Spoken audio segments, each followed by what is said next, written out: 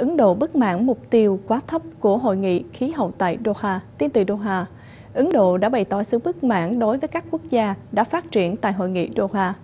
Bà Mira Mehrishi là thương thuyết trưởng của Ấn Độ tại hội nghị COP18, nói rằng Ấn Độ rất thất vọng, kêu gọi các nước đã phát triển nâng cao mức hứa hẹn phù hợp với đòi hỏi của khoa học và quy luật công ước, trong đó có luật công bằng và CBDR hay trách nhiệm chung, nhưng có sự khác biệt. Ấn Độ đã chấp nhận mục tiêu giảm lượng khí thải từ 20 tới 25% vào năm 2020 so với mức độ năm 2005 và các nước đang phát triển cũng đã cam kết cắt giảm nhiều hơn các nước đã phát triển.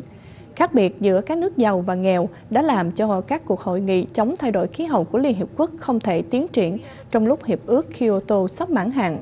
Một bản phúc trình của Liên Hiệp Quốc công bố trong tuần trước cho biết với mức độ hứa hẹn cắt giảm khí thải hiện nay sẽ làm nhiệt độ địa cầu tăng từ 3 độ C đến 5 độ C.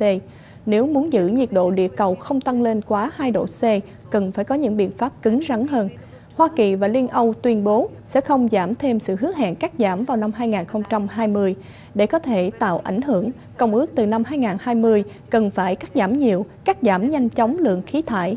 Theo Ủy ban Thay đổi khí hậu của Liên Hiệp Quốc hay IPCC, các nước giàu phải cắt giảm từ 25 tới 40% lượng khí thải vào năm 2020 so với mức độ 1990, nhưng hứa hẹn hiện giờ của các nước giàu chưa được 20%.